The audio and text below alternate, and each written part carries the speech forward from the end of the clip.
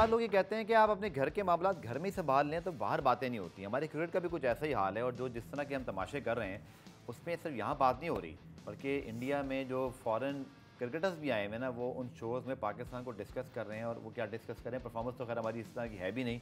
लेकिन वो इतना हमारी परफॉर्मेंस बात नहीं कर रहे जितने हमारे क्रिकेट के तनाज़ात पे बात कर रहे हैं, हमारी बायसनेस पे बात कर रहे हैं, जिस तरह हम कैप्टन को ट्रीट कर रहे हैं। आपने तमाशा देख ही लिया हमारे कैप्टन का स्क्रीन शॉट रिलीज़ हुआ, कितनी आसानी से बात दबा दी गई है।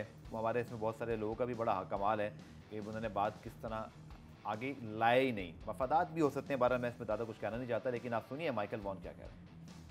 वो कहते हैं जी ये सारा कोई बड़ा डिसरिस्पेक्टफुल है डिसग्रेस है कि आप कप्तान की चीज़ों को लीक करें उनको इस तरह से आप जो है ना ह्यूमिलेट करें।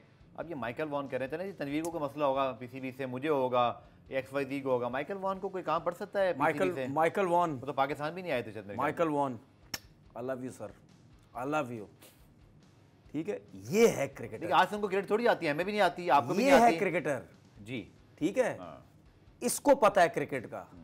हमारे लोग तो एवं ही गल्ला करके चले जाते उनको थोड़ी वो एजेंडा है। माइकल वॉन को क्रिकेट कहाँ आती है आज के बाद? उसने क्रिकेट थोड़ी खेली हुई है। सेंस खत्म हो गई पाकिस्तान के लिहाज तो उसने जो कप्तानी की इंग्लैंड के लिए वो के लिए वो तो ऐसी फजूल हाँ, में हाँ, उसको हाँ, कप्तानी। मिल गई। आपको भी नहीं आती क्रिकेट मुझे भी नहीं आती। उसको थोड़ी क्रिकेट आती है। माइकल वॉन को भी नहीं आती। अभी तो जो वो आशा बोगले ने कहा है पाकिस्तान क्रिकेट बारे में वो नहीं सुनना चाहता नहीं वो भी वो भी आप सुनाएँगे। देखें बोला किसने? जिसकी कंट्री में एक प्लेयर्स की रिस्पेक्ट है जिसकी कंट्री में एक सिस्टम चलता है सिस्टम से प्लेयर बनते हैं सिस्टम से अलाउ सिस्टम अलाउ करता है रिस्पेक्ट इतनी है।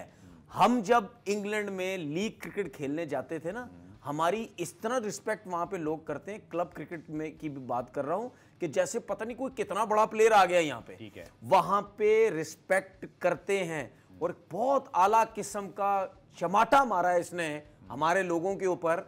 कि भाई ये सिर्फ़ आम थके हुए जो लोग हैं उनकी उनकी तो बात ही साइड पे कर दो ना वो तो आते ही झंडे के लिए। ये इसने क्रिकेटर्स के मुँह पे मारा है कि भाई कि तुम लोग किस किस्म की बातें कर रहे हैं वर्ल्ड कप चल रहा है आप आपके बातें कर रहे क्रिकेट बोर्ड को वो साइड पे रख के यूँ चला गया है कि भाई आपके क्रिकेट बोर्ड की वैल्यू फ़र्क क्या है? तनवीर? आपकी टीम वर्ल्ड कप खेल रही है और आप अपने कप्तान के साथ क्या हरकतें कर रहे हो? हाँ। उस बेचारे को ये नहीं पता हाँ। कि भाई तुम्हारे मुल्क में फिर भी चीज़ें ठीक हो जाएँगी हाँ। इस मुल्क में ये चीज़ें ठीक नहीं होंगी। सर एक बात बताएँ माइकल वॉन ने कुछ कह दिया? इसी तरह हर्षा बोडले ने कह दिया शाहीन शाह और एक फ्रेंचाइज का। सुनाए वो भी। अब सुन मेरी बात सुने आपने कह दिया मैंने पूरा पाकिस्तान कह रहा है। मुझे बताएँ क्या फ़र्क पड़ा? सिवाय इसके कि इंजमामुल हक को बुला के इस्तीफा ले लिया। हाँ। किसी ने पूछा जकशर से कैसे अलाउ किया?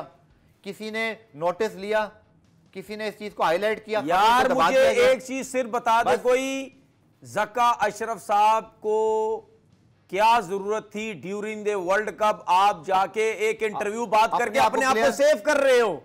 ये कहीं तो होता है। लेकिन कप्तान के पैसे क्यों कौन लीक करता है। मैं यही तो बात है क्या हो इनको गया? कौन पूछेगा? कोई फ़र्क पड़ा? इस मुल्क में और भी लीग होंगे क्यों? बात है। आज आपने एक्शन नहीं लिया। और सर एक्शन लीग करेंगे। एक्शन सिर्फ़ प्लेयरों के लिए है। जी। ये जो बोर्ड में बैठे इनके लिए कोई एक्शन नहीं है। हाँ। कल एक तकरीब हुई। पाकिस्तान क्रिकेट बोर्ड के हेडक्वार्टर में वो जो आई थिंक वुमेन्स टीम आई हुई है अच्छी बात है। वहाँ पे सलमान असीर जक्का अशरफ कल पूरे मीडिया के सामने इकट्ठे फिर बैठे हुए थे।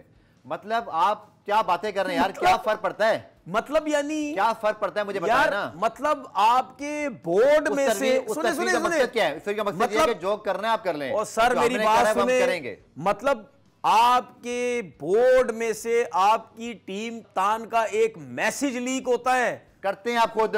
मैसेज मैं यही तो कह रहा हूँ। मैं यही कह रहा हूँ। सही वर्ड यूज़ करें आप। और आप लोगों को मैं वर्ड यूज़ नहीं कर सकता। फिर कोई आ जाएगा मुझे बोलेगा यार थोड़ी सी वर्डिंग सही कर लो अपनी।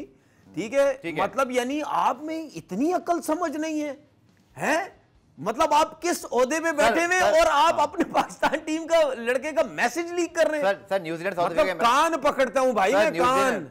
Sir New Zealand south Africa के मैच पे जाना है। मुझे उससे पहले ये कहूँगा कि कल को अगर आप कोई किसी का मैसेज लीक करे तो ज़रूर इस जक्का अशरफ वाले मामले की आप मिसाल दीजिएगा इस बात। को सही साबित करने के लिए कि जब जक्का अशरफ के खिलाफ एक्शन नहीं हुआ तो हमारे खिलाफ एक्शन क्यों होगा? दैट इज़ पाकिस्तान आशा भोसले ने क्या बोला? वो सुना दो एक छोड़े। न्यूजीलैंड साउथ अफ्रीका जबानी- जबानी बोल दे, कल के लिए जबानी- बचा वो कल के लिए बचा लिया। आज के लिए इतना बहुत है। आशा भोसले ने भी सही तबीयत खुश की है। सर, कल सुना देंगे न्यूजीलैंड साउथ अफ्रीका के मैच में अब हमें जी जीत चाहिए। न्यूजीलैंड की बमूमा कल हमारे लिए बाबर आज़म है साउथ अफ्रीका की ग्रीन टीम हमारी ग्रीन टीम होगी कल। अगर आप एनालिसिस करें साउथ अफ्रीका बहुत अच्छी फॉर्म में है न्यूजीलैंड की टीम बहुत अच्छा फाइट करके आखिरी मैच आ रही है बट दो मैच मुसलसल आ रही है। थोड़ा सा मोमेंटम उन्हें लूज किया है। साउथ अफ्रीका ने हमारे खिलाफ एक बहुत टफ मैच जीता। How you see this match it will be a cracker match मुझे लगता है। अच्छा मैच होने देखिए साउथ अफ्रीका का जो मुझे ऐसा लग रहा है ना वो ऊपर से मोमेंटम बहुत अच्छा बना रहे हैं बैटिंग का। ठीक है। डिकॉक वगैरह जिस तरह बैटिंग कर रहे हैं आप उनको और पहली बैटिंग करते आप उनको डिकॉक को जल्दी आउट करो। हाँ। साउथ न्यूजीलैंड की टीम इनको पकड़ सकती है। लेकिन हम चाहते हैं कल डिकॉक 200 रन की इनिंग खेले बिल्कुल। हमारी दुआएँ कल अगर डिकॉक क्लासन क्लासन कर दे क्लास इनिंग खेल दे। सीरियस मुझे लगता है साउथ अफ्रीका की टीम अगर रन पहले कर रही है तो चार सौ चार सौ अट्ठाईस तीन सौ बयासी हाँ। चार उनके तो इसका मतलब इसका मतलब समझे कि न्यूजीलैंड टॉस जितवाए टॉस जीत के न्यूजीलैंड क्या करेगा? पहले उनको बैटिंग दे दे। या साउथ अफ्रीका खुद कर ले। चल तभी बहुत बहुत शुक्रिया। लेट्स होप कि पाकिस्तान आज का मैच इंशाल्लाह जीते और कल फिर हम न्यूजीलैंड के मैच पे जब आए तो न्यूजीलैंड के खिलाफ साउथ अफ्रीका साढ़े तीन सौ रन हो गया हो ताकि हमारी आवाज़ ज़्यादा नहीं कर रही हो लेकिन कल इस बारे में बात करेंगे। तब तक के लिए अल्लाह हाफिज़।